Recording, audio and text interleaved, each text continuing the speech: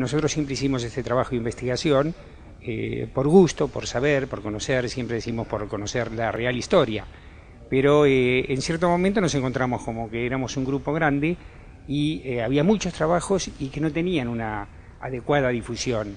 A veces teníamos el beneficio, el favor que nos hacía alguno de publicar una nota, hacer un movimiento que hacía uno para tratar de que salga esa nota. y entonces decíamos, bueno, estamos eh, rehaciendo, rearmando la historia, pero está quedando de nuevo tan olvidada como antes, porque no tenía difusión.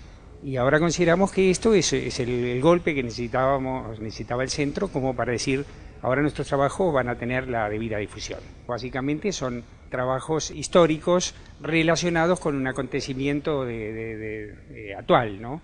Eh, o sea, tratar de dar un, un parangón, un, margen entre lo que es la actualidad y la historia. Cómo se llegó a tal hecho, cómo, eh, qué se festejó en tal época. Esa es la, idea, de, digamos, de eh, no separar la realidad, el, presente del pasado. Bueno, en principio el convenio para el centro es un paso muy adelante, muy bueno por la difusión y la, cantidad de gente que va a llegar este, a través de los diferentes medios que tiene TELAN. Eh, y eso va a ser muy importante para hacer conocer mucho más las investigaciones que hacemos. Va a tener una frecuencia semanal, van a ser unas cinco notas por mes este, y, se van a tocar temas que tienen que ver con los orígenes del fútbol, la época amateur, la época profesional.